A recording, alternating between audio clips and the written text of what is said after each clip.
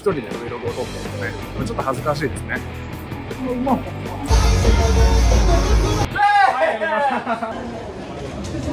楽しかった。皆さんこんにちは、ゆうたです。今日はですね、北海道に行くということで、羽田空港に来ております。じゃーん、こんな感じです。名古屋在住なんですけどね、なんでちょっと羽田にいるかと言いますと、東京でね、ちょっとライブとかレッスンとかがありまして、で、その流れでそのまま北海道に行くというスケジュールになっているのでね、ちょっと今週は1週間ぐらいちょっと家に帰れないんですけど、初めての北海道ちょっとすごい楽しみなので、どんなのがあるかなって、まあ、なんかいろいろこう、Vlog みたいな感じでちょっとまとめていきたいなと思っております。ちょっと早めに空港に着いたので、時間を何か潰せるところがあるかなとか思いつつ、なんかいろいろちょっとこう、空港ね、中を探検したいなと思います。ただなんか、手続きができてなかったりとかするとちょっと不安なので、早めにそれだけ済ませとこうかな。どっちに行ったらいいんだろう北海道にね、なんで行くのかっていうのは、概要欄の方にね、多分また別の動画が上がっていると思います。ちょっとそれの撮影のために北海道に行くんですけれども、そこでも初めての出会いがあるので、僕はめちゃめちゃ楽しみにしております。さあ、どうなることやら、こうやってね、一人で Vlog を撮っているとね、ちょっと恥ずかしいですね。多分こっちの方で合ってると思うんだけど、あ、多分あそこかな？ではでは、ちょっと次のシーンまで撮りましょうか。そこ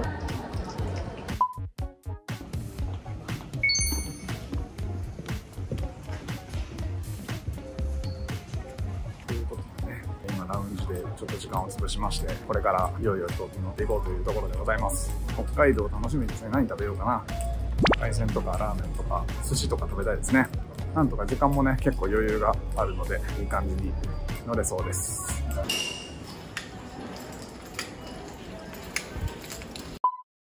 北海道着きました。ちょっと北海道着いたらなんかいろいろ美味しいもの食べようかなと思って、ログログ何も食べずに東京から来たんですけど、ちょっと気持ち悪いっていう、ちょっとあの食べてなさすぎてちょっと気持ち悪いっていうね、あの事態になっておりますけれども、空港でなんかとりあえず食べていこうかなとか思います。北海道ね、着きまして、あの、グルメワールドという空港内のね、すごいあの、食べ物屋さんとかいっぱいあるところですね。ちょっとまずはちょっとご飯を食べようということで、えーラーメンですね。一元っていうこのエビラーメンの、ね、お店にすごい行きたかったので、なんとか見つけて行ってきました。で、これがエビラーメンですね。もうこのなんかエビのなんかピンクい粉みたいな、ちょっと分かんないですけど、これエビの香りこれすごかったですね。ほんとすごい香ばしいいい香りで、めちゃめちゃ美味しかったです。すごく熱くてですね、まあ、これなんかブツブツ言ってますけれども、まあ、本当にもう食べ終わった後にも汗だくになっちゃって、なんかその汗だくになりながらもソフトクリームをね、と探そうという、なんかちょっとソフトクリーム美味しいやつ食べたいなと思ってね、こうどどれ選べばいいんだろうってなりながらちょっと探してきました。で、もうこのめちゃくちゃうまいソフトクリームにね、なんとかこう巡り合えてですね、それがこの木の戸屋ですね。木の戸屋。ここのソフトクリームはね、もうめちゃくちゃうまかったんですよ。ミルク感がすごくて、これ、でかい。めちゃくちゃでかいですよね。これね、すごい美味しくて、本当に。でもちょっと写真撮る前に食べちゃいましたね、これね。もうカメラ、顔映ってないですね、これね。うまっうまいたまらんうますぎるはい、ということで、千歳空港から札幌の方に着きまして、まずね、1日目にね、向かった場所が、僕がサポートしている大阪のバンド、パルスファクトリーのね、ライブがたまたまこの日北海道であるということで、ちょっと見に行かせていただきました。はい、これあの、左がギターのまさきさんで、右がボーカルのノブさんですね。すごい顔です。はい。ということで、こんな感じでね、もうバチバチ熱量の、まあ、パルスらしいライブを北海道でも見させていただいて、楽しい一日でしたね、この日は。ということでね、もう本当にあの、ずうずうしくもちょっと打ち上げまで参加させていただいて、北海道着いてから初めて札幌のビールを飲みましたね。これすごい飲みやすかったですね、このビール。美味しかったです。の朝、ホテルのね、一応朝ごはんもあったんですけど、僕はもう起きれなかったので、それを全スルーしてね、北海道にしかないコンビニ、セイコーマートで、この辺を買いだめて、ちょっと朝ごはんとしてね、食べてました。カツゲンね、ずっと飲みたかったんで。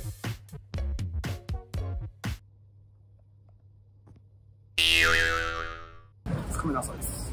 今日はコラボ撮影ですね楽しみですではではということで、この日は別動画で上がりますが、北海道在住の三浦武さんというドラマの方にね、呼んでいただいてのコラボ撮影ですね、YouTube のコラボ撮影です。ドラムセット2台並べて、もうめちゃくちゃかっこいいドラムの演奏動画を撮りましたので、これすごいですね。ちょっと見ててください、これ。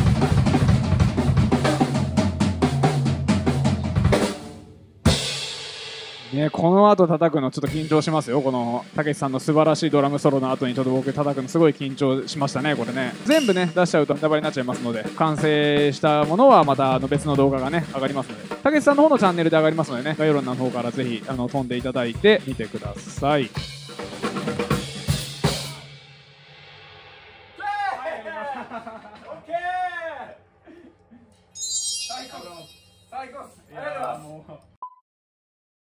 今度はすすきのですかね。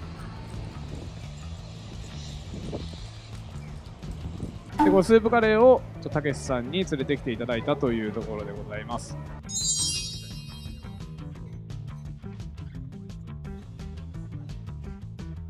もう二日酔いでベロベロですね、たけしさんはね。ポカリスエットで酔い覚ましをしております。ありがとうございましたということで、えースープカレー終わりまして、これは、えっと、レッスンが終わったところですね、北海道で何人かドラムレッスンやらせていただいて、ありがとうございました、そちらも。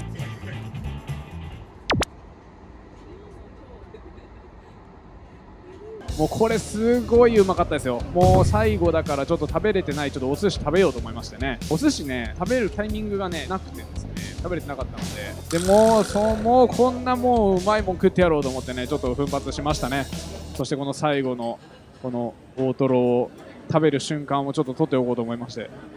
うんこれはうまかったですね。ということで、一旦また荷物を置きに行きまして、で、ロイズのね、ちょっとこのね、チョコレートポテチがめちゃくちゃうまいんですよ。本当に。これもうすごいうまいんで、あの、ぜひちょっとお土産で買って帰りたいということで、何箱かね、買って帰りました。皆さん北海道行かれた時もこれをちょっとお土産にめちゃめちゃいいんで、こっちのチョコレートはあの僕が帰りの飛行機で食べるようで買いましたね。でも帰りの飛行機全部食いましたね。はい。で、帰り飛行機乗るところですね、これね。ニセコクラシックお疲れ様でした。ということで、ニセコクラシックって何ですかねで、もう帰りはね、結構ね、遅い便だったので、でもすごい綺麗でね、夕日が。で、もう夜景もね、あのすごいちょうど綺麗で、飛行機に乗って、まあ、名古屋まで帰って、まあ、そんなにね、時間もかかんなかったんでね、2時間かかんないぐらいかな。で、名古屋まで帰ってこれましたね。はい、ということで、名古屋にってまいりました。めちゃくちゃ楽しい、えー北海道3日間でした。ありがとうございました。コラボさせていただいた三浦武さん、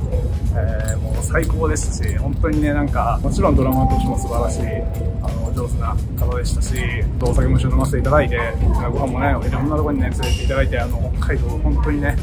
満喫させていただきました。バルスのライブも見れたしね、もうその後もベロベロに飲んだし、ちょっと久しぶりにこんだけ楽しめたかなという感じです。すぐにもう一回行きたいなという感じです。次はちょっと冬に雪祭りとかのタイミングで行けたら嬉しいなと思います。ちょっと人がいないとこで撮ってましたけど、なんか増えてきてちょっと恥ずかしい。あ、警備員さんお疲れ様です。はい、ということで、えー、家に着きました。ただいま、6日ぶりですね。いや、あー、ちょっといかん。あのね、ちょっとこれ多分座ったら、座ったらもう終わると思うので、ちょっと座らずに立ちで撮っていこうと思います。楽しかった。なんかドラムのね、こう技術的なことに関しても、すごくためになった6日間でしたね。あの MDJ の、えー渋谷のライブから始まって、そこでまあ反省点もたくさんあって、次はもっとこうしようこうしようっていうこともたくさんありまして、まあその日は結構、たまたまその対バンで久しぶりに会う人とかもいたりして、うわーってなって、まあいろいろお話とかさせてもらって、まあ北海道の3日間もね、本当にすごいためになる3日間で、やっぱパルスのライブを北海道で見て、まあ打ち上げでね、いろいろパルスのサポートやってる深夜さんと、深夜さんと酒飲む時っていうのは、大体ドラムのお前、ここがうまいだ、ここが下手だっていう話でめちゃくちゃ盛り上がってると思ったら、気づいたらゲロ吐いてるっていう感じなんですけど、あの、まあまあでもね、今回もまあ例の例に漏れずそんな感じでめちゃめちゃためになる話をたくさんしまして、その次の日、コラボ撮影、たけしさんとコラボ撮影させていただいて、自分ここが足りないなとか、まあまたそれもね、ちょっと YouTube で公開しますけれども、あの動画でたけしさんとこういう練習するという予定は撮ったんで、また公開しますけど、まあそういうのもね、撮ったりして、レッスンもして、次の日帰ってきました。何ってね、名古屋暑すぎる。やっぱり。やっぱり暑いね。気温っていうか湿度が多分全然違うと思いますね。北海道だいぶカラッとしてるし。はい。ということで、明日は一日僕は予定をとりあえずなくしたので、ちょっとゆっくり休もうかなと思います。まあでも、すごいいろいろためになることがあったんで、練習したいなっていう気持ちがね、すごくあります。なので、とりあえず今11時ぐらいか。今ここから風呂入って寝て、えー、まあ明日起きたらちょっと練習しようかなっていう感じですね。ということで、北海道 Vlog いかがだったでしょうか？ありがとうございました。北海道3日間楽しかったです。イェイ締めに面白いこととか言えない人生ですわ。